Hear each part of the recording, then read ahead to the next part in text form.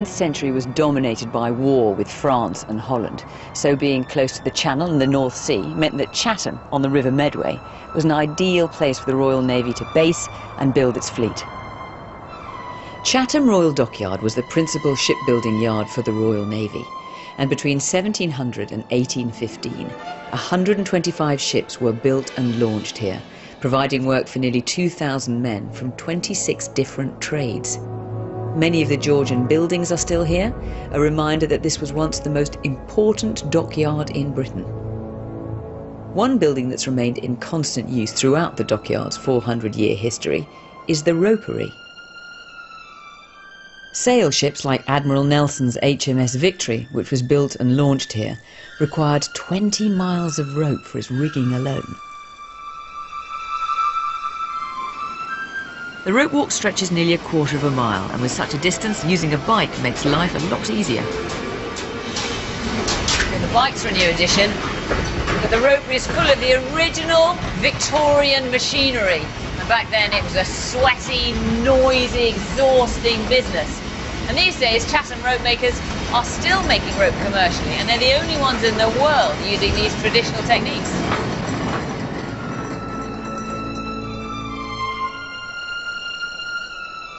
In 1984, the dockyard closed and is now a museum welcoming visitors from all over the country. So it's time to raise the roadshow anchor and set sail as we join our specialists and residents of the nearby Medway towns.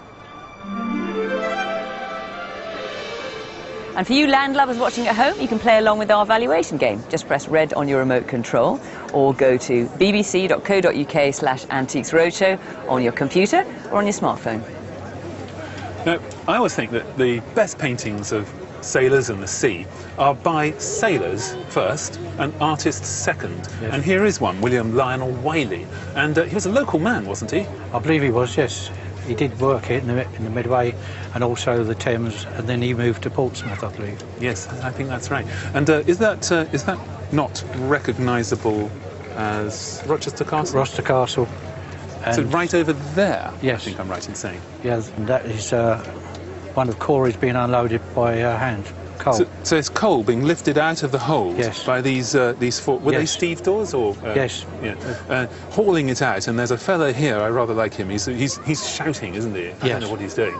Is that a mug of beer? Could that be? yes, So he's having a jolly good old drink Yeah. and a shout.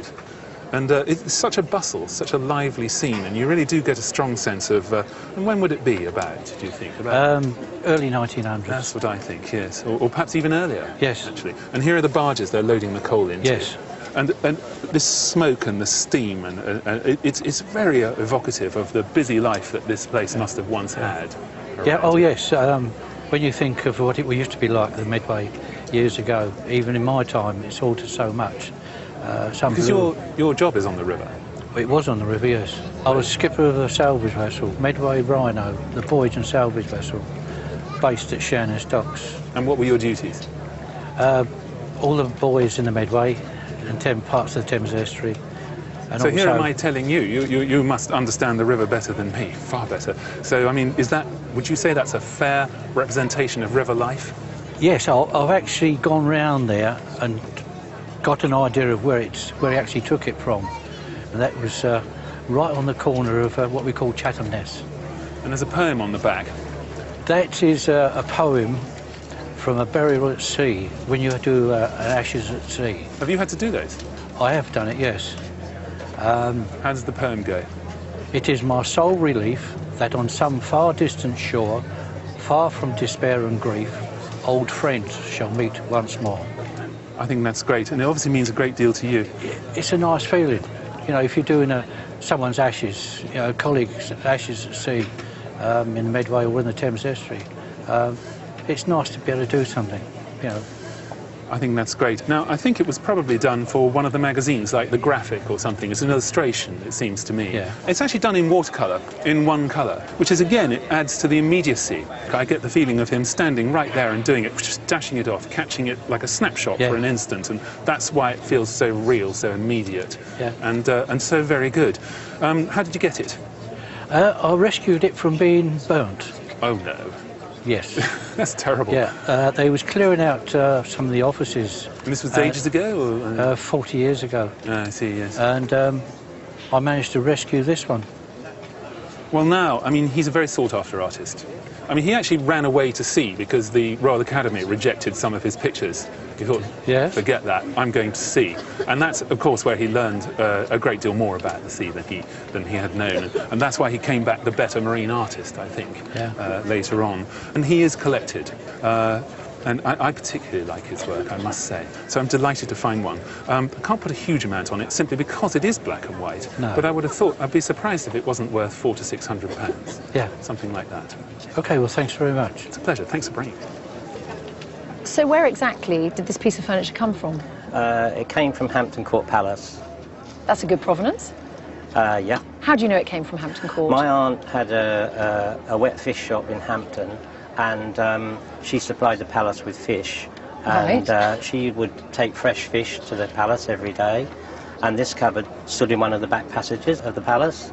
She liked it. She thought it was unloved. She used to have a joke with the people there that she delivered the fish to for years. This is sometime just after the war. And um, one day when she went in, they said um, that she could have the cupboard. And she did a deal with them, and uh, she paid for it in fish. Fantastic. So the only cost that this piece of furniture owes you No, it's not the only cost. It has cost me a thousand pounds twice in ex-marriages. Um, so I've had to um, pay out a little bit. Um, you obviously like this piece of I do, furniture yes. if you've held on to it through two, it two divorces. I've had it for 38 years now, and um, my aunt, when she died, wanted me to have it, and I've had it ever since. It's a great provenance, isn't it? I mean, it's always nice to know that something Yeah. comes from a good house, and Yeah. um, you don't get many as good as Hampton No. Court. No. Um, and one of the pieces of it that I like the most are these panels. Yeah. The carving is really crisp and deep, but it's also very, very refined, isn't it? Yeah. And these panels date it to about the, the late 16th, early 17th century. Uh, that's the good news. Now the bad news. The bad news is that these panels have been set into a piece of furniture that's been built around them Okay. using pieces of, of um, wood Yeah. that have been perhaps old choir stalls, panelling from churches, panelling from houses. And you wanted to know which country it had come from.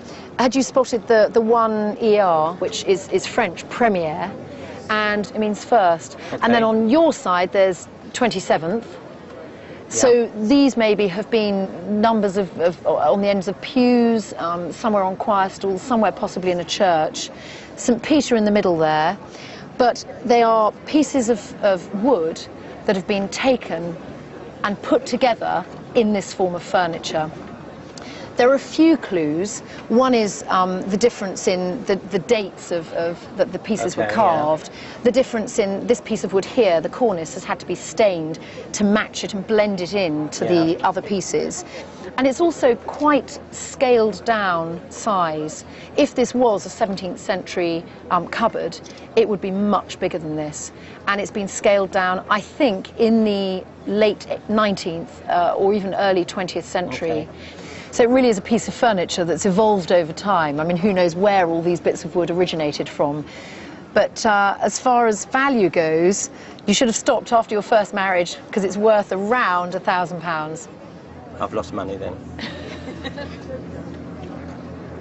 Well, I'm from WB Simpson that made this panel, and um, I'm a director of the company, uh, along with my two partners that have been there all their lives, and their father was part of the company all of his life, um, and we've collected these panels as part of the heritage of the company. So what we're looking at is a sort of company history. Yes, yes. So let, us look at W.B. Simpson. William Butler Simpson was one of the great names in uh, Victorian tiling. Yes. But of course, he goes back much further. From memory, I think he was born in the 1790s and died in the 1880s, so a very, very long life. Is that a picture of him over there? That's WB Simpson, yeah. So, that, so what, how old is he there? Looking at his appearance, we'd guess that, that was, he was about 30. And of course, that may be when he just started the business, which I think was 1833, wasn't it? That's it? correct, yeah. Yeah. We th- yes, before that, uh, we think he designed wallpaper uh, and interiors and fabrics. Well, which takes me to this pattern book. So this is part of the archive, is it? Yes. We're looking at probably, I guess, the 1840s, 1850s. And it's full of decorations like this, which are not for tiles, they're for painted panels in houses. Um, you had a grand country house, you were setting up a hotel, you know, any of that sort of thing. And this is the sort of decoration that Simpson could offer. You know, you can have a fairly formal arrangement like that. You can have um, stained glass if you want stained glass. And of course, equally, um, you could have sort of illustrative panels. And you can imagine things like this, these rather exotic sort of classical landscapes, um, set into big framed panels in drawing rooms and that sort of thing. That's what they were for. And all this, of course, is long before tiling gets going. Tiling is really something that starts in the 1860s and then moves on. I mean, this one we can see is dated 1905. So this is long after Simpson himself died in the 1880s. Um, but I think he must have shifted his business to tiling when tiling became fashionable. And again, great competitors. Doultons, later Carters, Craven Dunhill, all the big names did tiling. And the emergence of the tile panel as a decorative element is very much of the 1870s and onwards. Um, and it became the sensation of that period with all those names making wonderful panels. Now, these sort of rural England scenes, to me, are associated more with pubs and hotels, where you could actually glorify that vision of the England that actually, to be fair, that was disappearing. You know, all this was vanishing at that time under railways and factories. This is what we were thinking about preserving. I think this is a great thing. You say you acquired it, did you? Did you buy it? Uh, I think it was bought through an auction 30 or so years Yeah, ago, yeah. Um, just as a panel, Yeah. uh, which we've now mounted and kept. Kept as a, In as our a display. offices, yeah. I mean, if somebody came to you now and said, "Can you do this again?" Could you? Um, well, we'd give it a good try, and. I think we might be able to do that. Yeah. Yeah, well, why not? One day maybe. I'll come back. There's two things here. One is you've got a great factory archive. Two, the things themselves are individually quite valuable. The book, a pattern book like that, is meaningless unless you've got the Simpson connection. Sure. You have, so you're looking at probably three to five thousand for that as an insight into decoration. The small panels are going to be 1,000 to 1,500 pounds each because they're such great subjects. Maybe Robin Hood, maybe some medieval fantasy, who cares really? Um, but when we come to the big panel, this is really serious stuff. I mean, we're looking at 10 to 15,000 pounds for something Wow. like this. So it's it not that much. just it's not just your archive. It's also quite important financial history as well. Thank you very much. Okay, thank you. Now you've brought along this rather small, narrow box, very, very thin box, um, and it it holds a secret, doesn't it? Yes, it does. So we open the box and see what's inside. We open that. Now there's a lever behind. If I pull this out, watch what happens. Oh my! God! Gasps from the crowd. Well, that's what it's for. I mean, and it's uh, quite sharp as well, isn't it? It's incredibly sharp. It's handmade. Every single part of this is handmade. Yes. And it's, to my mind, a very vicious object. Yes, it is indeed. But what's it for? That's the question. Well, I don't know what it's for. Ah, I've owned it for all my life. Before that, it belonged to an old German gentleman. I guess it's over 150 years old for sure, and I still don't know what it is. okay, well, let's look at it and sort of analyse it. Yeah. From the point of view of date, I think the way it's constructed, it must be late 18th century or early 19th century. Yes. Whether it's English or not, I, I'm not sure. I don't think it is English. I think it's continental. Yeah. However, the question is, what is it for? Now, we've got interesting brackets. You see these little pins? Yes, indeed. There's one on either end. Uh-huh. And this is meant, I think, to mount it on something between Yes. two pinions, if you like. Um, there's also this lever, Yeah. so it's meant to be pulled remotely, Yeah. and this is meant for deployment right at the last minute. Now, I have to tell you, I've never seen one of these before, ever, Oh dear. but I think it's one of two things. Either it's for securing on the outside of a door Yeah. of some official office, perhaps police office or something like that. In case it's attacked, you would pull this lever and out would come these spikes, and there might be several of them in rows Yeah. to stop people approaching the door and beating it down. yes.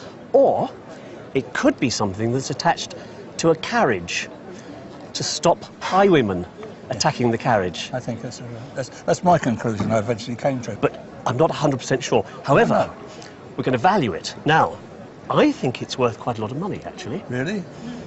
I think it's My grandchildren will be pleased to hear that. Well, I think it's most unusual. I wouldn't mind betting that this would sell at auction today for something in the region of 12 to 1500 pounds. Yeah. Well, it was given to myself and my husband by his mother when we moved into our first um, house as a present. And she had bought it at an auction in Bournemouth, um, but I've no idea what she paid for it. And, and I understand you've done some research on, on Yes, this well, we were interested in um, Gillows. We knew that they were quite famous. And an article in a magazine told us about a museum in London that had their records. So we, we went there, and on microfiche, we each had a, one of the microfiche machines, and we were racing to see who was the first to find it. But that took a long time, didn't it? it wasn't too long, probably about half an hour. But then they printed out um, documents for us with all the details of I the. look? Yes, Right. And these documents are saying, they tell you exactly what the cabinet is made from. which Um, is, I think it's baywood, right, and um, and it tells you precisely uh, all the, ex- the exact prices of each item that went into it. And it was made as a music cabinet, and it comes out that it cost 18 pounds, 12 shillings, and 10 pence. that's brilliant, isn't Very it? Very precise, Yeah. and that's the, that also came off the microfiche, which showed us, which made it easy for us to identify it. Right. There's some telltale signs about this cabinet. Um, as soon as you look at it, you know it's by this renowned maker, Gillows of Lancaster. Indeed. One of the telltale signs is this. If I pull this drawer open like so, under the underside, and this is almost like Gillow's signature. Oh, right. See these little screws? Yes. And then they've been chamfered down, and there's a little space. That's there so the drawer can expand and con- contract without splitting the actual base of the drawer. Right. It was one of their little signs, and um, other cabinet makers didn't do it. It was it was down just down to Gillows. These little pieces here, this is to stop the um, uh, dust, and so when you're cleaning the drawer out, it's actually easier for maintenance. Right. So they were, they were thinking not only for them, but for the people going to use the piece of furniture. And of course, it's stamped here, Gillows, Lancaster. Yes. They were leading cabinet makers in Lancaster, but also they were like interior decorators. And when this was put into the music room, the whole room would have been in this fashion, in what we call um, aesthetic period, which is around 1880, 1900s. Later into 1900s, Gillows merged with another company, and they were called then Waring and Gillow. But this is just before they merged, and so they were just had the brand name Gillows of Lancaster.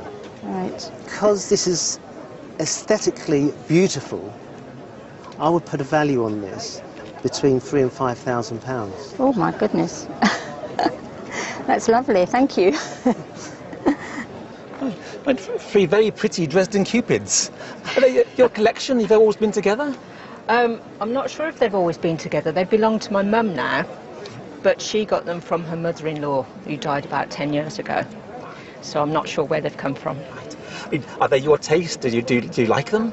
No, I think they're horrible. I'd give them to a charity shop.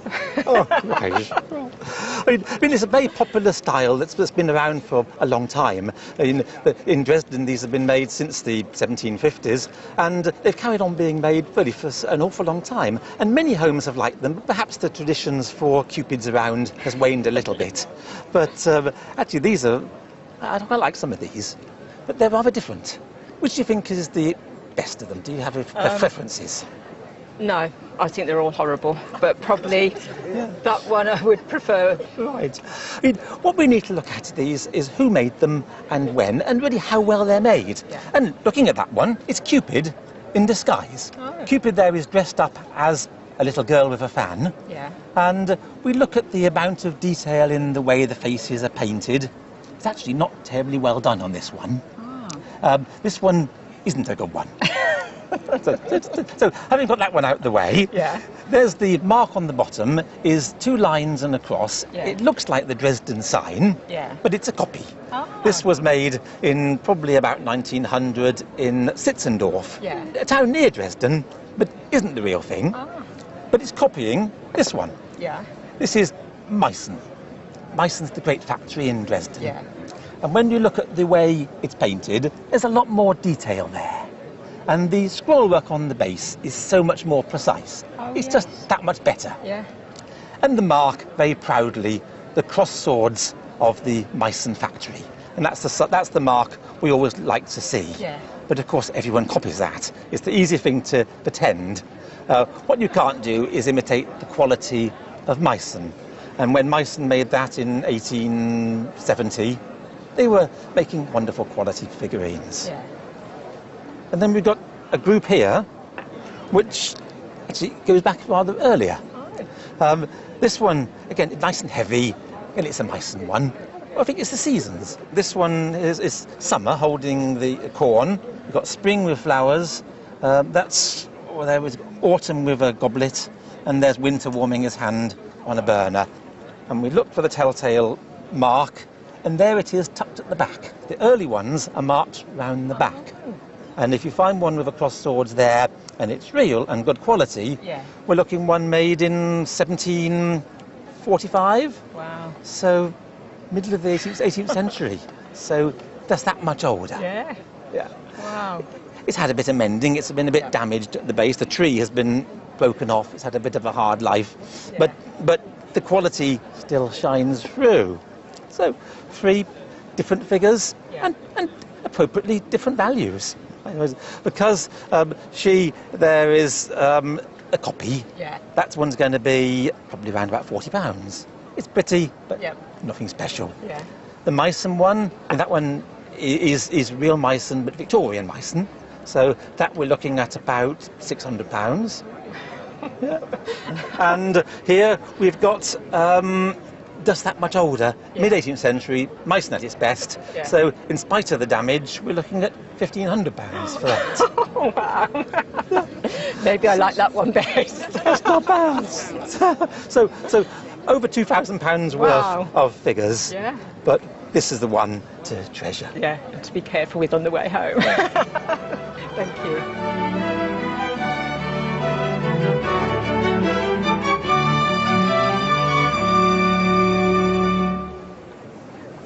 Take a look at this toothsome trio here. They may not be the most attractive objects I've ever seen on the Antiques Roadshow, I have to be honest, but they're certainly among the most popular. Toby jugs.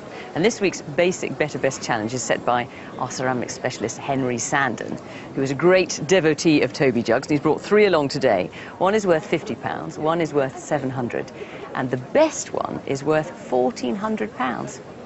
Can you tell which is which? Let's see what our visitors think. Basic for the guy with the brown coat because he seems a little bit more dull and not as like nice looking. and then better for the guy in the blue, and then best for the guy with the green coat. With the attractive spots on his face. That's right. Would you fancy owning something like that in your home? No. it's not trendy enough. It's harsh. The handle on that one is better finished than the other two, so I'll put that as best. Basic, better, best. And he's best because He just looks older. His teeth looks a bit sort of shabby and just looks like a good dentist. No, I'll go with him. I like his nose as well. So you like his bad teeth and his sort of beak-like Little hooky nose. yes. Is that what you like in a man? Well, like in a in a Toby jug, not so much in a man, but in a Toby jug. That is the best, and that is better. Okay, and why do you think this is the best one? Uh, blue's my favourite colour. Is that really the only reason? I'm afraid so, yeah. It's just so arbitrary, isn't it? Thank God for Henry Sandon. At least he knows what he's talking about. Now, I detected an Australian accent when I first met you. Yes. What's the connection between an Australian and a famous English sea captain? Well, I'm the great great nephew of Captain John Vine Hall, and Captain John Vine Hall was the captain on the maiden voyage of the Great Eastern Steamship. Fantastic. Perhaps one of the most iconic of all English ships of that period. And indeed, Isambard Kingdom Brunel's third shipbuilding masterpiece. Yes. And I mean, just look at this period print. And it's not called Leviathan for nothing. Correct. 692 feet long. It weighed three times more than the biggest ship of the period, nearly 19,000 tons. So your ancestor was commander of this extraordinary ship. And this was the first steamship to cross the Atlantic. And that was in 1860. Right. And uh, I think Brunel, after that voyage, uh, tried to induct uh, Captain John Vine Hall into the Royal Institute of Engineers, and for some reason he refused. Well, the ship was driven by these two large paddle wheels, Yes. as well as obviously propeller power by a different engine from the back, and designed to carry 4,000 passengers, Yes. maybe 10,000 Yes. troops in the event of war, but designed for a run to Australia as well as to India. But it, it, it ended up doing the transatlantic route. Yes, just from uh, Yeah. England to New York. Yeah, and that's where your great great uncle sailed Southampton to New York. Correct, yes. What a responsibility. Yes. I mean, a man of great experience, and presumably he had to qualify to command such a new fangled modern ship. He was the first uh, captain to uh, receive qualifications to Right. captain a steamship. Yeah. But this thing was built to last because I understand it did actually, on some voyage, hit a rock, but because it had this sort of cellular bottom, it survived Oh, hitting a rock, unlike the Titanic, who obviously worse things happen. So, so an incredible thing. And you brought along today the most fascinating family archive, and I had a peep at this small log, Hmm. which I understand was his personal logbook covering the first voyage on the Great Eastern. And we think, we understand from all the research that we, we've done, that it is the only logbook. The, the official ship's log is uh, Losso. Uh, it's, it's the only record left of that, of that journey. And I've had chance to go through these three numbered albums of Yes. watercolours in which really he's recording his life at sea's experiences Yes. and, and the places he went, the natural history wonders that he saw. Yes. And not only was he commanding a ship of this size, but he was a very talented amateur artist. Yes. I mean, look at the perspective. He's using watercolours. There's gouache to heighten some of the detail. That is a, a fabulous little work of art in its own right.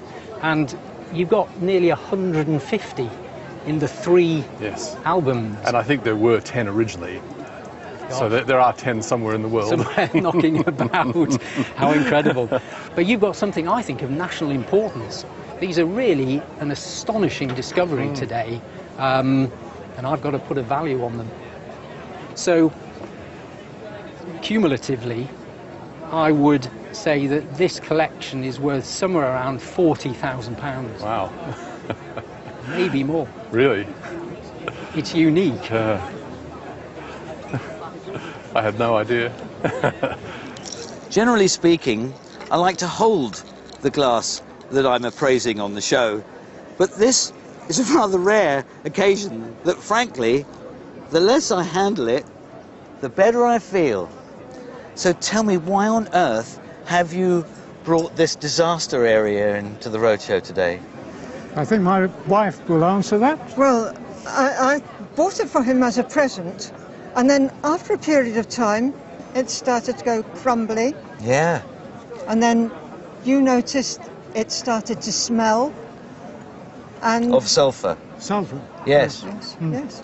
So it was smelly glass that's falling to pieces. This is really not what everybody wants. No. Now, the reason that it has disintegrating is that it's crizzled. It is a lack of alkali in the ingredients. It's like the cake that doesn't rise.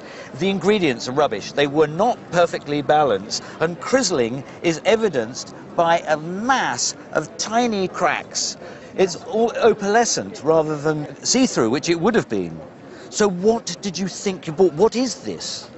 Right, um, we took it uh, to the museum, um, V&A. V&A, Yes. And uh, they looked at it and then immediately said that um, it wasn't Venetian glass. Okay. It certainly looks like it. It, it pleased us because by that time we, we were very curious about the whole thing. It was very strange. Hmm. And we'd come across Sir Robert Mansell. Okay. What you're saying by Sir Robert Mansell is that uh, he uh, was the uh, Admiral, Admiral Sir Robert Mansell, MP, had held the glass monopoly, the monopoly for making glass in England under Charles I. So we're talking about before Restoration and all that. We are around 1640. A very interesting guy, but boy, that's that's a big leap. What you're doing is you're linking this to Sir Robert Mansell, which is a pretty hairy occupation to do. I, for a start, one of the problems about glass of that age is, frankly, we don't know what it looked like. We don't. Now, what we do know is that Venetian style, Venise glass, was the dominant glassmaking style over Europe at this date. But to link this with Mansell is pushing it because, frankly, there are problems about placing that early. It certainly looks it. Yes. But the linkage between ceramics and glass has always been quite strong. Mm-hmm. So when you see a cup in ceramics like that, you think, this isn't 1640. This is never, or silver. It could also be in silver, similar forms in silver. This is later. Because for a start, it's too big. Cups and saucers at this date were much smaller, were no, a third smaller. Further, the handle, it wouldn't have had a handle at that date. Handles of this type are more neoclassical. This is going back to the Greek, um, and this is later, shall we say. Yeah. So whilst it is grizzled and looks a million years old, mm-hmm. the chances are it's more like 150 years, probably, than 350. And that is a fact. That is the probability. The value, of course, because we've got to value stuff, is if it was 1640 by nobody knows what Mansell made anyway, so to say this is what he made is you can't go there. It would be maybe 200 pounds as, a, as, a, as an academic curiosity that you could be brought out at lectures or put in a museum cabinet basement, or you accept it as a 150 year old one and actually worth a tenner. yes. right. what does one say to that? The missus has said it all, in my opinion. Hold on, that's the best. Only, I think you best have a fiver for that. That's fantastic. I don't think I've owner had an owner do a better ending than that. Brilliant. Well, a beautifully made wooden presentation box, probably of holly wood, and for me, there's no prizes for guessing what is within. There are three pretty little enamel blue eggs. Tell me about them with you. Well, they are my friends whose aunt gave them to her. Um, she believes they're Russian, um, but that's all she knows about them. Well, I think she probably guessed that they were Russian from Yeah. the lid satin, Mm. and it is written in Cyrillic, um, but it's clearly legible to enthusiasts of this subject that it actually says the name of uh, an important Russian jeweler. But I'd just like to discuss um, this in, in a back to front way and tell you about the eggs, which are sky blue enameled Easter Yes. eggs on a necklace, and they're surmounted by tiny, tiny diamond laurels. And that's quite important in a way because in the tradition of uh, jewellery, the colour blue is for love and it's something borrowed, something blue. Blue, And yeah. here we have it conspicuously written, but above it we also see tiny laurels set with diamonds. And this is a visual rebus for um, a Latin phrase which is omnia vincit amor, the triumph of love overall. So here is the, the triumphal laurels um, surmounting the colour blue. But there's also another message coming across here because they are Easter eggs. This is a gift from somebody at Easter in Holy Russia to present to somebody that they love, and, and it's the triumph of love over everything. Um, I think it is a triumph because it's survived. It's in absolutely pristine condition, which is wonderful for all kinds of good reasons. But let's return to the lid satin once again, and it says quite plainly, K. Fabergé, Mhm. Moscow. Oh, gracious. oh, wonderful. And we don't need any explanation beyond that to know that this is by far the most um, famous goldsmith's workshop that's ever existed. So it's very, very exciting stuff. Oh, right. What are the uh, blue bubbles? What are they? They're made of Oh, a silver core which has been engraved and then flooded with blue enamel, and you're seeing through the um, enamel onto the engraved ground. Oh, I see. And there's a great tradition in Russia to give Easter eggs. In the country, you'd have painted white chickens' eggs Yeah. to give, and in the towns there would be wooden eggs, perhaps ceramic eggs. But in this curious claustrophobic world of the Romanov court and its orbit, um, only Fabergé would do. Hmm. This is a whiff of pre-revolutionary Oh, Russia. wonderful. And in 1917, catastrophe happened because the Mhm. Russian Revolution came about, Yeah. and Fabergé's empire was destroyed utterly and completely and forever. And so when we see these things coming through, the excitement mounts enormously. And mercifully, your friend has taken enormous care with it because it's almost perfect condition, and it's kept within this box which signs it. It's like a picture frame. And your friend has an object which is undoubtedly worth £12,000. Oh my goodness! Oh, she'd be thrilled to pieces. Oh, ah, because quite recently she had a big fire her, her house, and uh, quite a lot of things lost, and this was one thing that survived. Well, that's wonderful, and it may be some small compensation. Yeah. But how exciting to see it here today. That is absolutely wonderful. She'd be thrilled to pieces. I'm so pleased. wonderful. I'm exhausted now. I don't know about you. Wonderful. Wonderful. If you remember, I was telling you earlier in the programme about our basic Better Best challenge set by Henry Sandon this week, our ceramic specialist. Three Toby jugs, one worth £50, that's the basic, the better one worth £700, and the best one worth £1,400. Now, Henry, I have to say, among our visitors, we were all a bit nonplussed by them, particularly because, in the nicest possible way, they are just so darn ugly. Oh, no, they're not. They're beautiful. So, anyway. what, what is so lovely about them? They're real people out there. They have noses and fine noses and pustules on their face and they're, they're drinking beer. But what could be better than that?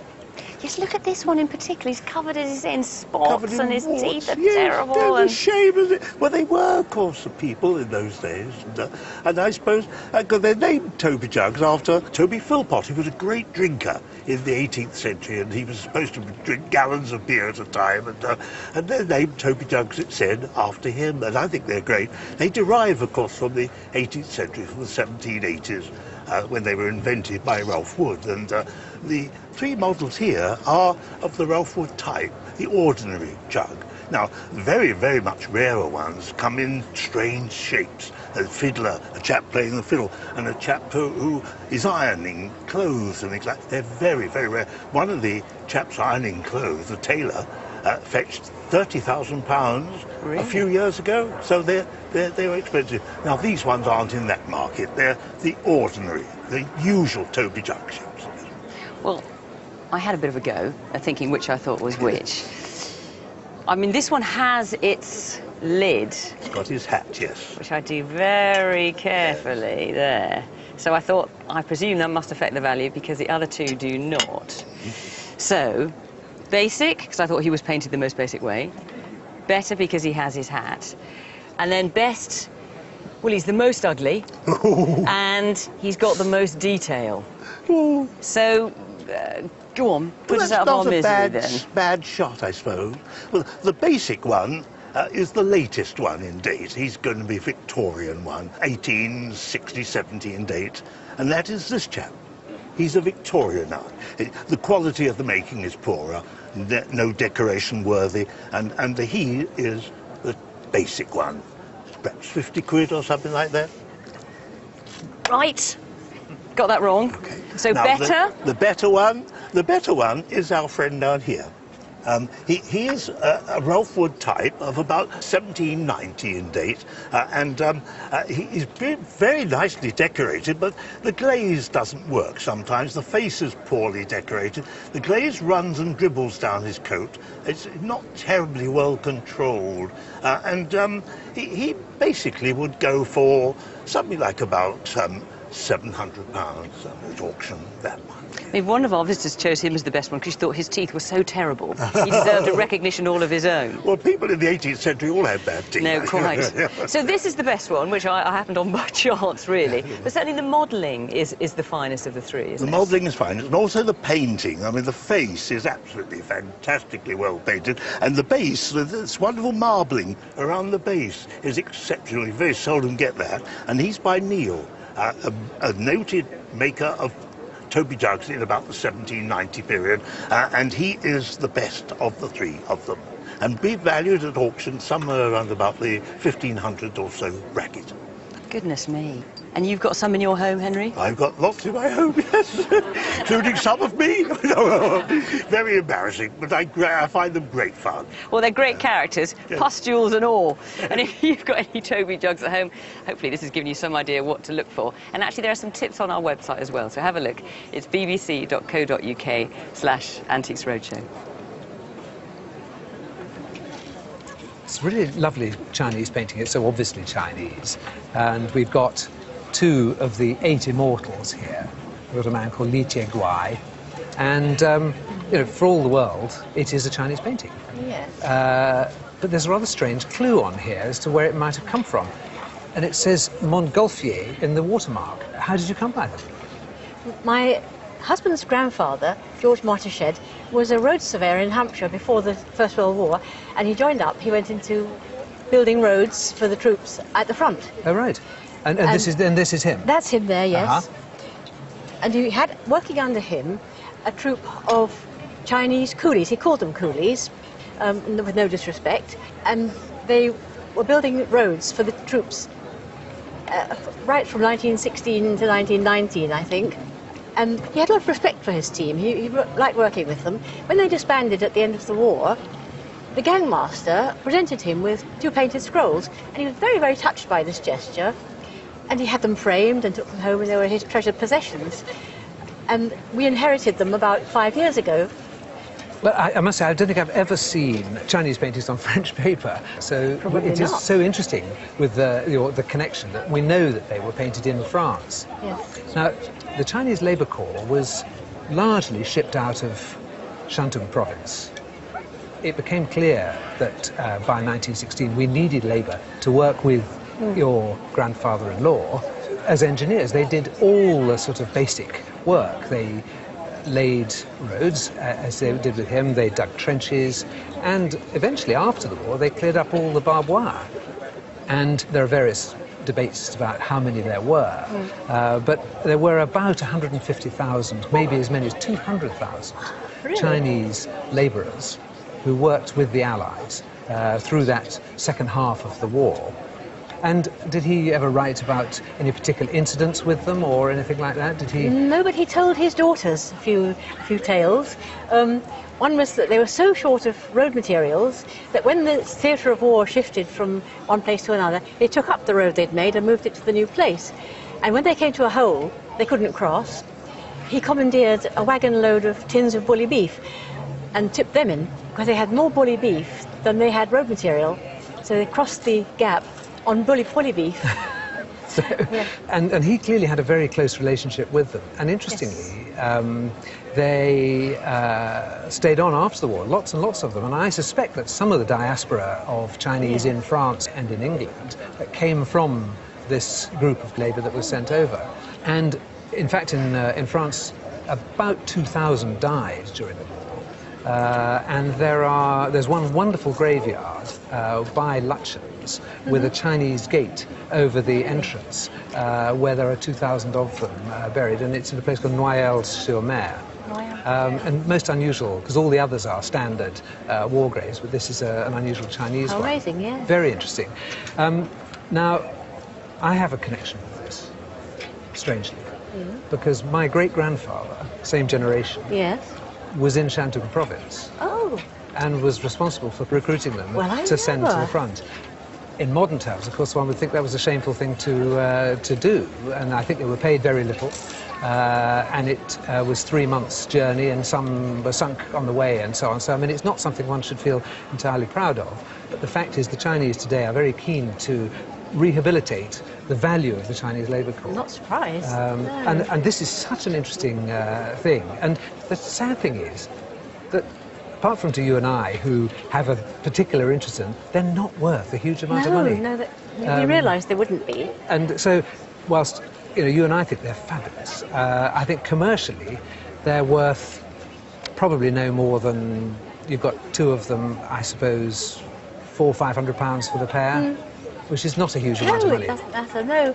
Um, do you know anything about the inscription? How, why people well, can't regrettably, read I can't read it either. No. Um, and maybe somebody who sees this will be able to translate it and tell us what it says. That would be lovely, I wouldn't would it? love to know. Yes. Right, thank you very Thank you. much. She's got this wonderful, serene look about her, hasn't she? She obviously hasn't been in the sun. Has she been out much at all? No, um, I've had her for five years and just had her in a bag, in a box, under the bed. Um, and when my sister had her, she had her in a bag, in a box, under the bed. So she hasn't seen the daylight, no. Poor little mite. Yeah. Um, now, you said your sister had her, but obviously she's a good deal older than your uh, Yes. generation. So whose was she before that? Um, my sister was a carer um, and she belonged to an old lady that she looked after and she gave her to my sister. So that's that's Yeah. the link. Yes. Well, she's she's lovely. She's what's known as a China uh, shoulder China doll, because her head and her shoulders are all made in in one piece, as you can see. And in fact, uh, I'm rather pleased that she's undressed because it, you can totally see the construction Yeah. here. So she's been stitched on to this.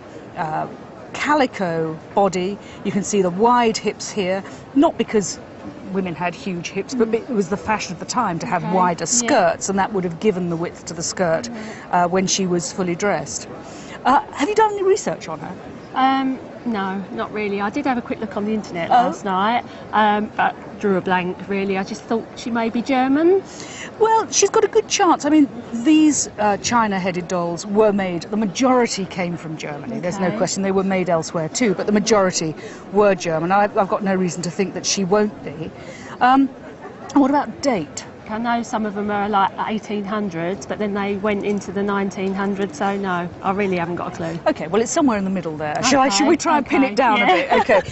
Um, well, one good way of looking uh, and being able to date a doll, particularly one which has got an elaborate hairdo, is to look at that hairstyle. And there we can see it's it's plaited at the sides and then tied back into this sort of loose, uh, low chignon. Uh, so that's that's good. I mean, I'm, I'm not going to be able to pinpoint it to a precise year, but I would say between 1855 and 1860. So, you know, you can you can you can get a good guide from that. Um, she's not a hugely valuable doll, but she's still collectible, and I would put her at around 300 to perhaps 350 pounds. Yeah, that's very good. Yeah, I'm quite pleased with that. Lovely. Thank you. As we approach the centenary of the First World War, which will obviously be in 2014, I think we're going to be interested more and more and more in not so much the grand battles, we know about all those, we know less and less about people's practical experiences. What was it like on a day-to-day basis? Now, who are we looking at here? This is my uncle, Fred Noakes, draper from Tunbridge Wells. Yep. Um, tried and tried to enlist, kept failing the medical. Finally got in as a conscript in 1917 and proceeded to write lots and lots of letters home. Which survive? Yeah. some of them? Yes. And these what, to his mother? To his mother, to his father, to his sister mostly, Right. sometimes to his brothers who weren't very old at the time. And now I've seen in my life hundreds, thousands of First World War postcards, letters, and they're normally pretty brief. And the most basic is a postcard where you tick the box. Yeah. I am alive, I am dead, you know, that sort Yeah. of stuff. Um, and so to write long letters is in itself quite unusual, because of course everything had to be censored. Yeah. Um, and it also reveals what you've said about this thing about he was desperate to get in the army. Yes. Uh, we forget that until 1916, it was a, a war, from the British point of view, fought by volunteers. And it was people like him who kept trying and kept Yeah. trying and kept trying um, that kept the whole thing going. So he wrote these letters home, and I mean, randomly, I picked one out, which I think is really very entertaining. This afternoon, I and my sparring partner, somehow or other, purposefully, forgot to go on parade. And falling in with a sergeant and a quartermaster sergeant, who were also dodging work, we spent the afternoon playing football and nearly expired with the heat. Well, that doesn't really sound quite like frontline life, does it? No, no, that's typical of the sort of things that he liked to pick up on, though, to tell people at home. Yeah. Because he didn't want to mention the horrors. Yeah. Now, I think it's fair to say that at that point, I think that's post-war. How long did he serve? Well, from 1917, when he finally managed to get in, he was finally demobbed, and he hadn't had any leave up to this point. Uh, Christmas 1919. I Yeah, think. which this is another thing we forget about. We think the war ended on the 11th of November 1918. In fact, it didn't. For people like him, duties continued. Okay, they weren't at risk of being shot, but army life was maintained, army discipline was maintained, and he didn't go home for a long time. No. Now, he's gone. Um, anything physical surviving from him? Oh, yes. Oh, yes? Yep, I've got his watch that he was wearing when he was waiting to go over the top at the Canal du Nord. Ah, this is 1918. actually it. Yep, that's it. So there it is. And inscribed on the back, Yep. Private F. Noakes, 3rd Coldstream Guards, and the address in Tunbridge Wells. Yeah. So he was wearing that. He was wearing that, looking at the luminous dial to see what the time was, because they knew exactly what They time were going they were over very early. Yeah. That's remarkable. And you just wear it. Yes. And, And it- anything that's horrible, I know that watch has been through worse. It's And, su- and survive. Yes. So, so it's like a talisman. Yes. It keeps you going. Absolutely. I think that's lovely. Now, what's it all worth? Well, there is value in the documents simply because they're rare survivals. Not so many letters in piles survive like that. The real thing is the watch. Um, if that watch was put up for sale, it would fetch two, three hundred pounds, four hundred pounds possibly as a First World War watch. But the story you add greatly increases that price in Yeah. my mind, if not in financial terms. I'd love to be wearing my, you know, a relative's watch from the First World War. Well done. So keep him going. I will. Thank you. Thank you. Small objects like that First World War watch can tell us so much about an important time in our history. And we're planning an Antiques Roadshow to commemorate the centenary of the First World War. And we're looking for stories of, of heroism, of, of loss, of the human impact of the Great War. So if you've any objects associated with that time, through your family perhaps, we'd love to hear from you. So contact us either by email to antiques.roadshow at bbc.co.uk or in writing to the address on your screen.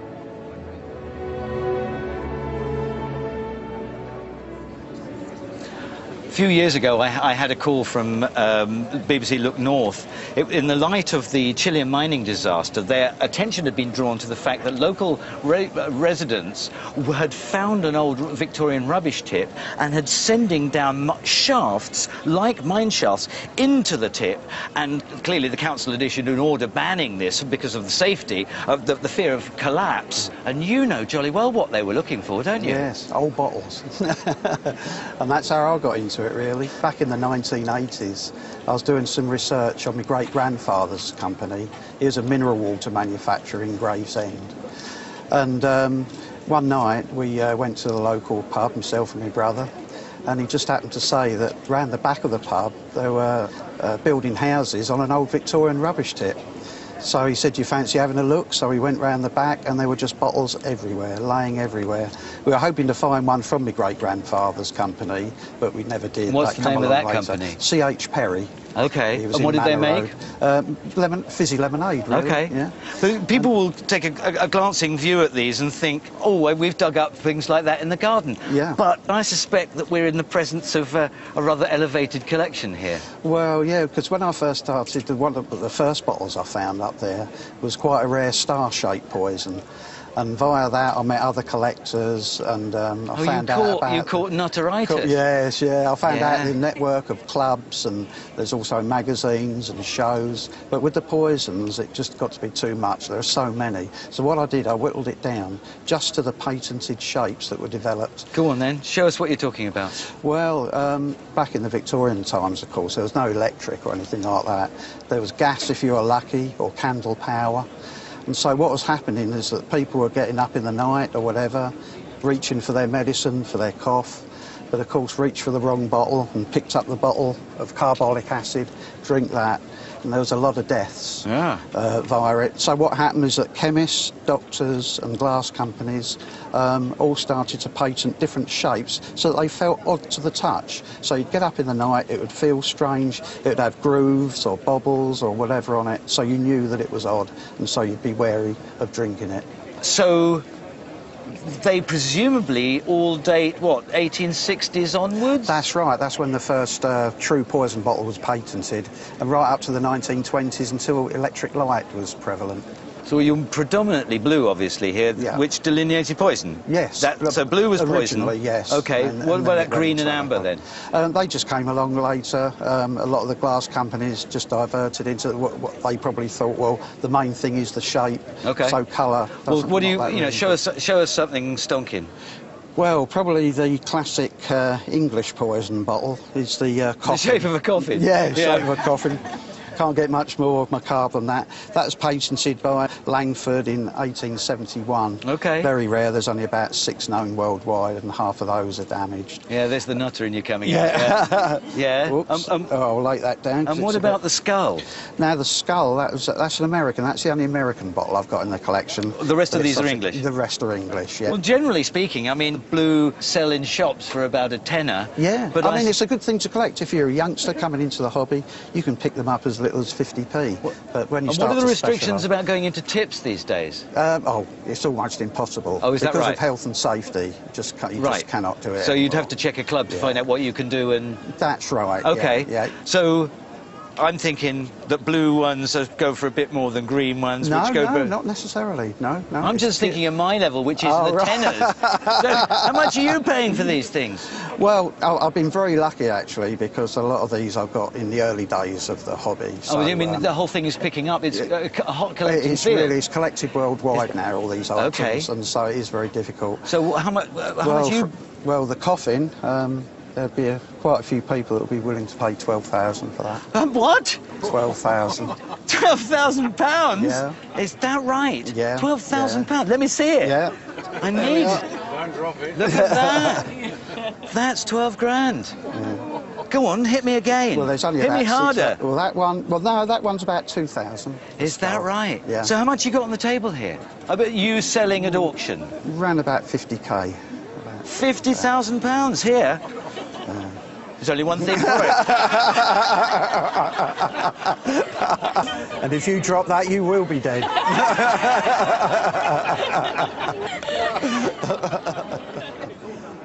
Do you remember how I started the programme? All the way up there, terrifyingly, on the fighting platform of HMS Gannet. Well, fortunately, the producers have allowed me down here to the safety of the forward deck. And all the rigging you can see around me, miles and miles of rope, were made here at the ropery. So from HMS Gannet and historic dockyard Chatham, from all the Roadshow team, bye-bye. The Roadshow returns to Chatham next week at the later time of 8 o'clock. Next tonight, original British drama with an all star cast. It's a timeless mystery. The Lady Vanishes.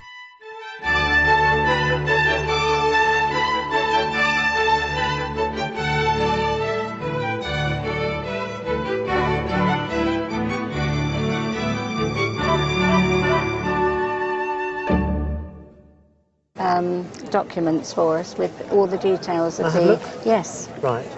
And these documents are saying They tell you exactly what the cabinet is made from. Which is?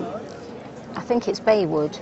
right. and um, and it tells you precisely uh, all the, ex- the exact prices of each item that went into it. And it was made as a music cabinet, and it comes out that it cost 18 pounds, 12 shillings, and 10 pence. That's brilliant, isn't Very it? Very precise, Yeah. and that's the, that also came off the microfiche, which showed us, which made it easy for us to identify it. Right. There's some telltale signs about this cabinet. Um, as soon as you look at it, you know it's by this renowned maker, Gillows of Lancaster. Indeed. One of the telltale signs is this. If I pull this drawer open like so, under the underside, and this is almost like Gillow's signature. Oh, right. See these little screws? Yes. And then they've been chamfered down, and there's a little space. That's there so the drawer can expand and con- contract without splitting the actual base of the drawer. Right. It was one of their little signs, and um, other cabinet makers didn't do it. It was it was down, just down to Gillows. These little pieces here, Mm-hmm. this is to stop the um, uh, dust, and so when you're cleaning the drawer out, it's actually easier for maintenance. Right. So they were, thinking not only for them, but for the people going to use the piece of furniture. And of course, it's stamped here, Gillows, Lancaster. Yes. They were leading cabinet makers in Lancaster, but also they were like interior decorators. And when this was put into the music room, the whole room would have been in this fashion, in what we call um, aesthetic period, which is around 1880, 1900s. Mm. Later into the 1900s, Gillows merged with another company, and they were called then Waring and Gillow. But this is just before they merged, and so they were just had the brand name Gillows of Lancaster. Right. Because this is aesthetically beautiful, I would put a value on this between three and five thousand pounds. Oh my goodness. That's lovely. Thank you. And three very pretty Dresden Cupids. Are they your collection? You've always been together? Um, I'm not sure if they've always been together. They belong to my mum now, but she got them from her mother-in-law, who died about 10 years ago. So I'm not sure where they've come from. I mean, Are they your taste? Do you, do, do you like them? No, I think they're horrible. I'd give them to a charity shop. Oh, okay. I mean, I mean, it's a very popular style that's, that's been around for a long time. In, in Dresden, these have been made since the 1750s, and they've carried on being made really for an awful long time. And many homes have liked them. Perhaps Bet you. Yes. What's the connection between an Australian and a famous English sea captain? Well, I'm the great great nephew of Captain John Vine Hall, and Captain John Vine Hall was the captain on the maiden voyage of the Great Eastern Steamship. Fantastic. Perhaps one of the most iconic of all English ships of that period. And indeed, Isambard Kingdom Brunel's third shipbuilding masterpiece. Yes. And I mean, just look at this period print. And it's not called Leviathan for nothing. Correct. 692 feet long. It weighed three times more than the biggest ship of the period, nearly 19,000 tons. So your ancestor was commander of this extraordinary ship. And this was the first steamship to cross the Atlantic. Uh, that was in 1860. Right. And uh, I think Brunel, after that voyage, uh, tried to induct uh, Captain John Vine Hall into the Royal Institute of Engineers, and for some reason he refused. Well, the ship was driven by these two large paddle wheels, Yes. as well as obviously propeller power by a different engine from Yes. the back, and designed to carry 4,000 passengers, Yes. maybe 10,000 Yes. troops in the event of war, but designed for an, a run to Australia as well as to India. But it, it, it ended up doing the transatlantic route. Yes, just from uh, Yeah. England to New York. Yeah, and that's where your great great uncle sailed Southampton to New York. Correct, yes. What a responsibility. Yes. I mean, a man of great experience, and presumably he had to qualify to command such a new fangled modern ship. He was the first uh, captain to uh, receive qualifications to Right. captain a steamship. Yeah, but this thing was built to last because I understand it did actually, on some voyage, hit a rock, but because it had this sort of cellular bottom, it survived Oh, hitting a rock, unlike the Titanic, who obviously worse things happen. So, so an incredible thing. And you brought along today the most fascinating family archive, and I had a peep at this small log, Hmm. which I understand was his personal logbook covering the first voyage on the Great Eastern. And we think, we understand from all the research that we've, we've done, that it is the only logbook. The, the official ship's log is uh, Losso. Uh, it's, it's the only record left of that, of that journey. And I've had chance to go through these three numbered albums of Yes. watercolours in which really he's recording his life at sea's experiences Yes. and, and the places he went, the natural history wonders that he saw. Yes. And not only was he commanding a ship of this size, but he was a very talented amateur artist. Yes. I mean, look at the perspective. He's using watercolours. There's gouache. The Chinese Labour Corps was largely shipped out of Shantung province. it became clear that uh, by 1916 we needed labour to work with Mm. your grandfather-in-law as engineers. They did all the sort of basic work. They laid roads, as they did with him. They dug trenches, and eventually, after the war, they cleared up all the barbed wire. And there are various debates about how many there were, uh, but there were about 150,000, maybe as many as 200,000 Really? Chinese labourers who worked with the Allies uh, through that second half of the war. And did he ever write about any particular incidents with them or anything like that? Did he? No, but he told his daughters a few, a few tales. Um, one was that they were so short of road materials that when the theatre of war shifted from one place to another, they took up the road they'd made and moved it to the new place. And when they came to a hole they couldn't cross, he commandeered a wagon load of tins of bully beef and tipped them in because they had more bully beef than they had road material. So they crossed the gap on bully, bully beef. So, and, and he clearly had a very close relationship with them. And interestingly, um, they uh, stayed on after the war, lots and lots of them. And I suspect that some of the diaspora of Chinese in France and in England that came from this group of labour that was sent over. And in fact, in, uh, in France, about 2,000 died during the war. Uh, and there are, there's one wonderful graveyard uh, by Lutyens with a Chinese gate over the entrance uh, where there are 2,000 of them uh, buried, and it's in a place called Noyelles-sur-Mer. Um, and most unusual, because all the others are standard uh, war graves, but this is a, an unusual Chinese one. Amazing, yeah. Very interesting. Um, now, I have a connection with this, strangely, because my great grandfather, same generation, Yes. was in Shantung province Oh, and was responsible for recruiting them Well, to send to the front. In modern terms, of course, one would think that was a shameful thing to, uh, to do, and I think they were paid very little. Uh, and it uh, was three months' journey, and some were sunk on the way, and so on. So, I mean, it's not something one should feel entirely proud of. But the fact is, the Chinese today are very keen to rehabilitate the value of the Chinese labour corps. Not surprised. Um, No. and, and this is such an interesting uh, thing. And the sad thing is that, apart from to you and I, who have a particular interest in, they're not worth a huge amount no, of money. no, that, we Um, realised they wouldn't be. And so, whilst you know, you and I think they're fabulous, uh, I think commercially they're worth probably no more than you've got two of them, I suppose, four, five hundred pounds for the pair, Mm. which is not a huge amount of money. No, it doesn't matter, no. Um, do you know anything about the inscription? How, why? and there's Winter warming his hand on a burner. And we looked for the telltale mark, and there it is tucked at the back. The early ones are marked round the back. And if you find one with a cross swords there, and it's real and good quality, Yeah. we're looking one made in 1745. Wow. So, middle of the 18th, 18th century. So, that's that much older. Yeah. Yeah. Wow.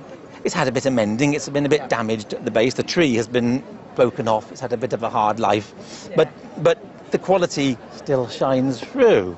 So, three different figures and, and appropriately different values. Because um, she, there is um, a copy, Yeah. that one's going to be probably around about £40. It's pretty, but Yep. nothing special. Yeah. The Meissen one, and that one is, is real Meissen, but Victorian Meissen. So that we're looking at about £600. Yeah. and here we've got um, just that much older, mid 18th century, Meissen at its best. Yeah. So, in spite of the damage, we're looking at £1,500 for that. Oh, wow. Maybe I like that one best. That's not bad. so, so over £2,000 Wow. worth of figures. Yeah. But this is the one to treasure. Yeah, to be careful with on the way home. Thank you.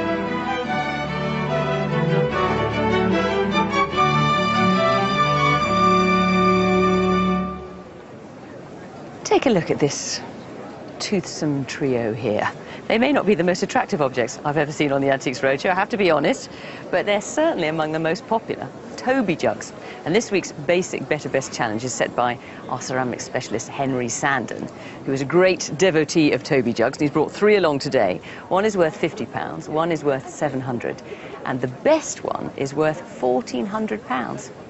Can you tell which is which? Let's see what our visitors think. Basic for the guy with the brown coat because he seems a little bit more dull and not as like nice looking. and then better for the guy in the blue, and then best for the guy with the green coat. With the attractive spots on his face. That's right. Would you fancy owning something like that in your home? No. it's not trendy enough. The handle on that one is better finished than the other two, so I'll put that as best. Basic,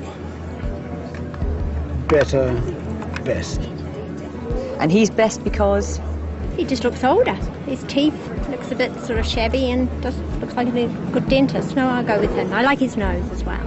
So you like his bad teeth and his sort of beak-like nose. nose, yes. Is that what you like in a man? Well, like in a in a Toby jug, not so much. of Shantung province, it became clear that uh, by 1916 we needed labour to work with Mm. your grandfather-in-law as engineers. They did all the sort of basic work. They laid roads, uh, as they did with him. They dug trenches, and eventually, after the war, they cleared up all the barbed wire. And there are various debates about how many there were, uh, but there were about 150,000, maybe as many as 200,000 Really? Chinese labourers who worked with the Allies uh, through that second half of the war. And did he ever write about any particular incidents with them or anything like that? Did he? No, but he told his daughters a few, a few tales. Um, one was that they were so short of road materials that when the theatre of war shifted from one place to another, they took up the road they'd made and moved it to the new place. And when they came to a hole they couldn't cross, he commandeered a wagon load of tins of bully beef and tipped them in because they had more bully beef than they had road material. So they crossed the gap on bully bully beef. So, and, and he clearly had a very close relationship with them. And interestingly, um, they uh, stayed on after the war, lots and lots of them. And I suspect that some of the diaspora of Chinese in France and in England that came from this group of labour that was sent over. And in fact, in, uh, in France, about 2,000 died during the. Uh, and there are, there's one wonderful graveyard uh, by Lutyens with a Chinese gate over the entrance uh, where there are 2,000 of them uh, buried, and it's in a place called Noyelles-sur-Mer. Um, and most unusual, because all the others are standard uh, war graves, but this is a, an unusual Chinese How one. amazing, yeah. Very interesting. Um, now, I have a connection with this, strangely, because my great grandfather, same generation, Yes. Was in Shantung province Oh, and was responsible for recruiting them Well, to send to the front. In modern terms, of course, one would think that was a shameful thing to, uh, to do, and I think they were paid very little. Uh, and it uh, was three months' journey, and some were sunk on the way, and so on. So, I mean, it's not something one should feel entirely proud of. But the fact is, the Chinese today are very keen to rehabilitate the value of the Chinese labour corps. I'm not surprised. Um, No. and, and this is such an interesting uh, thing. And the sad thing is that, apart from to you and I, who have a particular interest in, they're not worth a huge amount no, of money. no, that, we Um, realised they wouldn't be. And so, whilst you know, you and I think they're fabulous, uh, I think commercially they're worth probably no more than you've got two of them, I suppose, four, five hundred pounds for the pair, Mm. Which is not a huge amount of money. No, money. that's, that's a no. Um, do you know anything about the inscription? How, why people Well, can't regrettably, read I it? can't read it either. No. Dominated by war with France and Holland, so being close to the Channel and the North Sea meant that Chatham on the River Medway was an ideal place for the Royal Navy to base and build its fleet. Chatham Royal Dockyard was the principal shipbuilding yard for the Royal Navy, and between 1700 and 1815, 125 ships were built and launched here, providing work for nearly 2,000 men from 26 different trades. Many of the Georgian buildings are still here, a reminder that this was once the most important dockyard in Britain. One building that's remained in constant use throughout the dockyard's 400 year history is the ropery. Sail ships like Admiral Nelson's HMS Victory, which was built and launched here, required 20 miles of rope for its rigging alone. The rope walk stretches nearly a quarter of a mile, and with such a distance, using a bike makes life a lot easier. the bikes are a new addition. But the ropery is full of the original Victorian machinery. Back then it was a sweaty, noisy, exhausting business. And these days, Chatham rope makers are still making rope commercially, and they're the only ones in the world using these traditional techniques.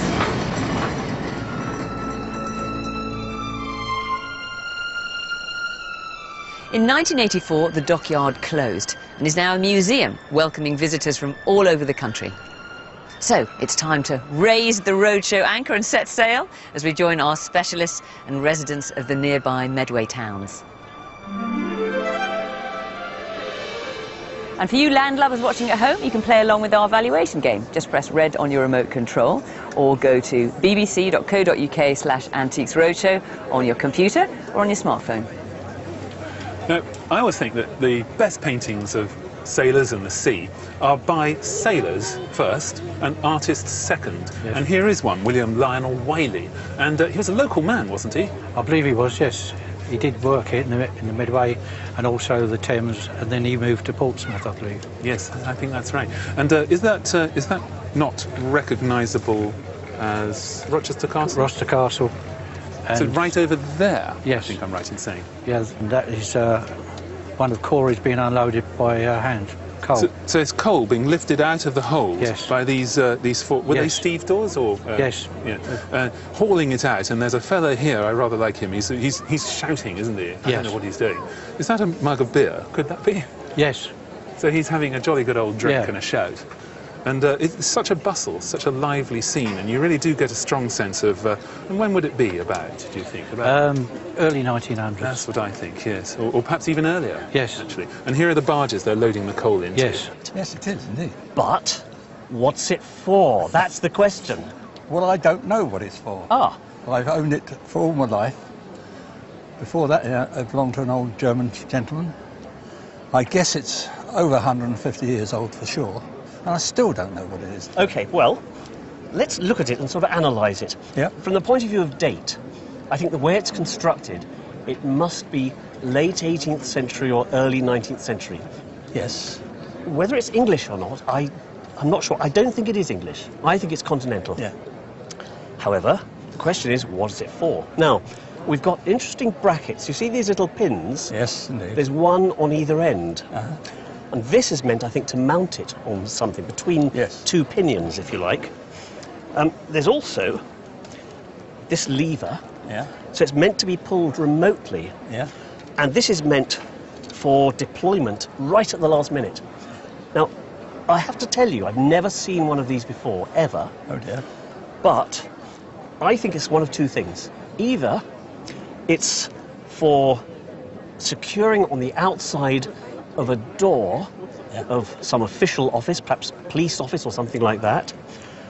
In case it's attacked, you would pull this lever and out would come these spikes, and there might be several of them in rows Yeah. to stop people approaching the door and suppose beating it down. yes. Or it could be something that's attached to a carriage to stop highwaymen attacking the carriage. I think that's, a, that's, that's my conclusion I eventually came to. But I'm not 100% sure. However, we're going to value it. Now, I think it's worth quite a lot of money, actually. Really?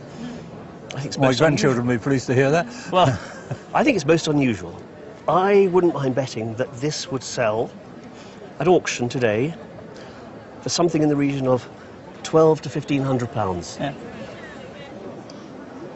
Well, it was given to myself and my husband by his mother when we moved into our first um, house as a present. And she had bought it at an auction in Bournemouth, um, but I've no idea what she paid for it. And, and I understand you've done some research on on Yes, this well, we were interested in um, Gillows. We knew that they were quite famous. And an article in a magazine told us about a museum in London that had their records. So we, we went there, and on microfiche, we each had a, one of the microfiche machines, and we were racing to see who was the first to find it. But that took a long time, didn't it? it wasn't too long, probably about half an hour. But then they printed out um, documents for us with all the details of I have a the. look? Yes. Right. And these documents are saying They tell you exactly what the cabinet is made from. Which is? I think it's baywood, right. and um, and it. Wonderful.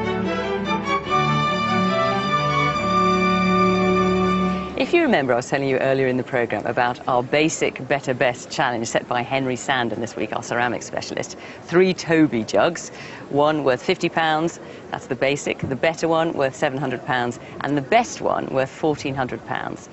Now, Henry, I have to say, among our visitors, we were all a bit nonplussed by them, particularly because, in the nicest possible way, they are just so darn ugly. Oh, no, they're not. They're beautiful. So anyway. what, what is so lovely about them? They're real people out there. They have noses and fine noses and pustules on their face and they're, they're drinking beer. And what could be better than that? Yes, look at this one in particular. He's covered in, in spots in and his warts. teeth are yes, terrible. They're a and- shame, isn't it? Well, they were, of course, the people in those days. And, uh, and I suppose uh, they're named Toby Jugs after Toby Philpot, who was a great drinker in the 18th century, and he was supposed to drink gallons of beer at a time. And, uh, and they're named Toby Jugs, it said, after him. And I think they're great. They derive, of course, from the 18th century, from the 1780s. Uh, when they were invented by Ralph Wood. And uh, the three models here are of the Ralph Wood type, the ordinary jug. Now, very, very much rarer ones come in strange shapes. A fiddler, a chap playing the fiddle, and a chap who, who is ironing clothes and things like that. They're very, very rare. One of the chaps ironing clothes, the tailor, uh, fetched £30,000 a few years ago. So they're, they're, they're expensive. Now, these ones aren't in that market. They're the ordinary, the usual Toby jug ships. Well, I had a bit of a go at thinking which I thought was which. I mean, this one has its lid, It's got his hat, yes. which I do very carefully there. So I thought, I presume that must affect the value because the other two do not. So, basic, because I thought he was painted the most basic way. Better because he has his hat. And then best, well, he's the most ugly. and he's got the most detail. So, uh, go on, put Well, us that's out of not our a misery bad, then. bad shot, I suppose. Well, the basic one uh, is the latest one in date. He's going to be Victorian one, 1860, 70 in date, and that is this chap. He's a Victorian art. The quality of the making is poorer, no decoration worthy, and, and the he is the basic one. Perhaps 50 quid or something like that. Right. Got that wrong. Okay. So Now, the- better? The, better one, the better one is our friend down here. Um, he, he is a, a Ralph Wood type of about 1790 in date, uh, and um, uh, he, he's ve- very nicely decorated, but the glaze doesn't work sometimes. The face is poorly decorated. Oh, don't you? Yes, old bottles. and that's how I got into it, really. Back in the 1980s, I was doing some research on my great grandfather's company. He was a mineral water manufacturer in Gravesend. And um, one night we uh, went to the local pub, myself and my brother, and he just happened to say that round the back of the pub they were uh, building houses on an old Victorian rubbish tip. So he said, you fancy having a look? So we went round the back and there were just bottles everywhere, laying everywhere. We were hoping to find one from my great-grandfather's company, but we never did. What's the name of that later. company? C.H. Perry. Okay. And what did they make? Um, lemon, fizzy lemonade, really. Okay. Yeah. But people will take a, a, glancing view at these and think, oh, we've dug up things like that in the garden. Yeah. But I suspect that we're in the presence of uh, a rather elevated collection here. Well, yeah, because when I first started, the, one of the first bottles I found up there was quite a rare star-shaped poison. And via that, I met other collectors, and um, I oh, found you out caught, about you caught nutteritis. Co- Yes, yeah. I found out the network of clubs and there's also magazines and shows. But with the poisons, it just got to be too much. There are so many. So what I did, I whittled it down just to the patented shapes that were developed. Go on then, show us what you're talking about. Well, um, back in the Victorian times, of course, there was no electric or anything like that. There was gas if you were lucky, or candle power. And so what was happening is that people were getting up in the night or whatever, reaching for their medicine, for their cough, but of course reached for the wrong bottle and picked up the bottle of carbolic acid, drink that, and there was a lot of deaths Yeah. uh, via it. So what happened is that chemists, doctors and glass companies um, all started to patent different shapes so that they felt odd to the touch. So you'd get up in the night, it would feel strange, it would have grooves or bobbles or whatever on it, so you knew that it was odd, and so you'd be wary of drinking it. So, they presumably all date, what, 1860s onwards? That's right. That's when the first uh, true poison bottle was patented, and right up to the 1920s until electric light was prevalent. So you're predominantly blue, obviously, here, Yeah. which delineated poison? Yes. That, so blue was poison? Originally, yes. Okay, And- what and about that green and amber then? Um, they just came along later. Um, a lot of the glass companies just diverted into what, what they probably thought. Well, the main thing is the shape. Okay. So colour. Well, what do you, you know, really show us, show us something stonking. Well, probably the classic uh, English poison bottle is the uh, coffin. shape of a coffin? Yeah, the Yeah. shape of a coffin.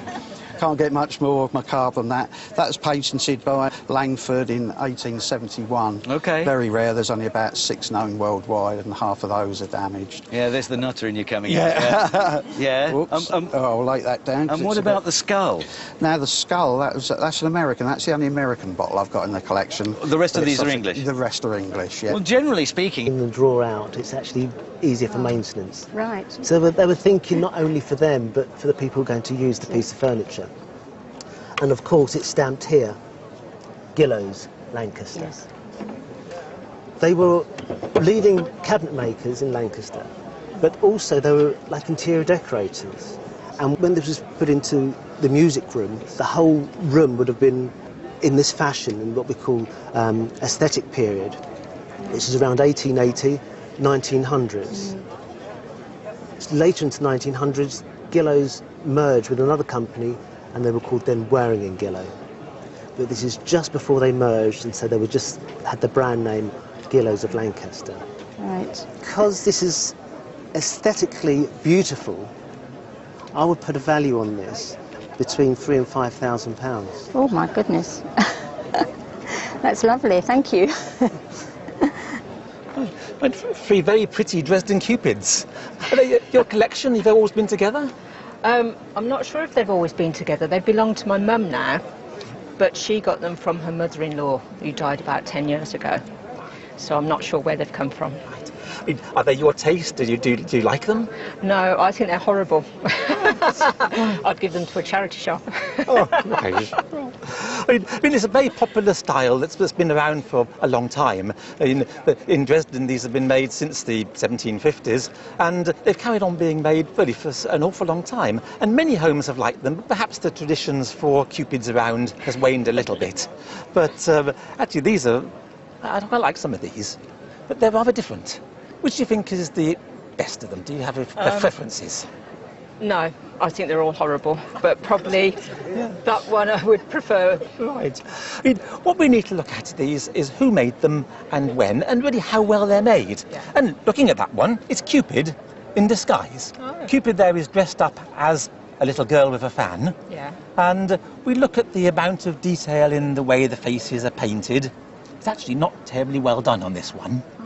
Um, this one isn't a good one. so, so- so, having got that one out of the way, Yeah. there's the mark on the bottom is two lines and a cross. Yeah. It looks like the Dresden sign, Yeah. but it's a copy. This was made in probably about 1900 in Sitzendorf, Yeah. a town near Dresden, but isn't the real thing. But it's copying this one. Yeah. This is Meissen. Meissen's the great factory in Dresden. Yeah. And when you look at the way it's painted, there's a lot more detail there. And the scrollwork on the base is so much more precise. Oh, it's yes. just that much better. Yeah. And the mark, very proudly, the cross swords of the Meissen factory. And that's the, that's the mark we always like to suit, £600. Yeah. and here we've got um, just that much older, mid 18th century, Meissen at its best. Yeah. So, in spite of the damage, we're looking at £1,500 for that. Oh, wow.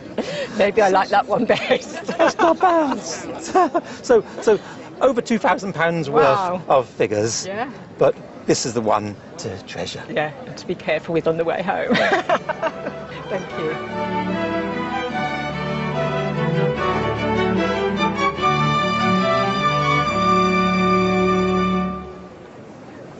Take a look at this toothsome trio here.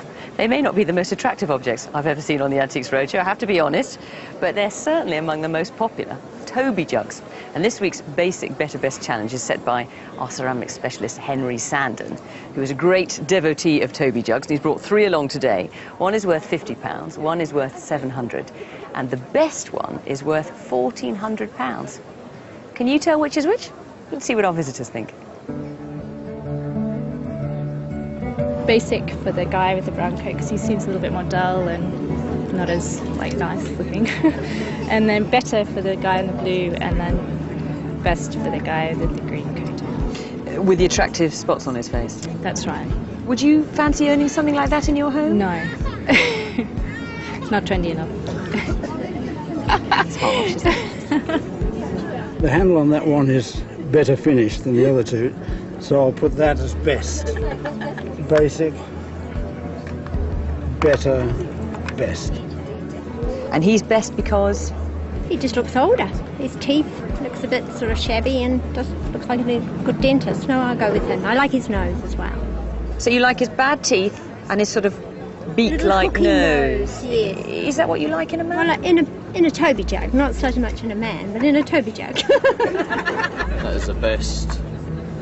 And that is better. Okay, and why do you think this is the best one? Uh, blue's my favourite colour. Is that really the only reason? I'm afraid so, yeah. It's just so arbitrary, isn't it? Thank God for Henry Sandon. At least he knows what he's talking about. Now, I detected an Australian accent when I first met you. Yes. What's the connection between an Australian and a famous English sea captain? Well, I'm the great great nephew of Captain John Vine Hall, and Captain John Vine Hall was the captain on the maiden voyage of the Great Eastern Steamship. Fantastic. Perhaps one of the most iconic of all English ships of that period. And indeed, is Isambard Kingdom Brunel's third shipbuilding masterpiece. Yes. And I mean, just look at this period print. And it's not called Leviathan for nothing. Correct. It actually says the name of uh, an important Russian jeweler, but I'd just like to discuss um, this in, in a back to front way and tell you about the eggs, which are sky blue enameled Easter Yes. eggs on a necklace. And they're surmounted by tiny, tiny diamond laurels. And that's quite important in a way because in the tradition of uh, jewellery, the colour blue is for love and it's something borrowed, something blue. And here we have it conspicuously written, but above it we also see tiny laurels set with diamonds. And this is a visual rebus for um, a Latin phrase which is omnia vincit amor, the triumph of love over all. So here is the, the triumphal laurels um, surmounting the colour blue. But there's also another message coming across here because they are Easter eggs. This is a gift from somebody at Easter in Holy Russia to present to somebody that they love, and, and it's the triumph of love over everything. Um, I think it is a triumph because it's survived. It's in absolutely pristine condition, which is wonderful for all kinds of good reasons. But let's return to the lid satin once again, and it says quite plainly, K. Fabergé, Mhm. Moscow. Oh, gracious. oh, wonderful. And we don't need any explanation beyond that to know that this is by far the most um, famous goldsmith's workshop that's ever existed. So it's very, very exciting stuff. Oh, right. What are the uh, blue bubbles? What are they? They're made of of a silver core which has been engraved and then flooded with blue enamel, and you're seeing through the um, enamel onto the engraved ground. Oh, I see. And there's a great tradition in Russia to give Easter eggs. In the country, you'd have painted white chicken's eggs Yeah. to give, and in the towns there would be wooden eggs, perhaps ceramic eggs. But in this curious claustrophobic world of the Romanov court and its orbit, um, only Fabergé would do. Mm. This is a whiff of pre-revolutionary Russia. wonderful. And in 1917, catastrophe happened because the Mhm. Russian Revolution came about, Yeah. and Fabergé's empire was destroyed utterly and completely and forever. And so when we see these things coming through, the excitement mounts enormously. And mercifully, your friend has taken enormous care with it because it's almost perfect condition, and it's kept within this box which signs it. It's like a picture frame.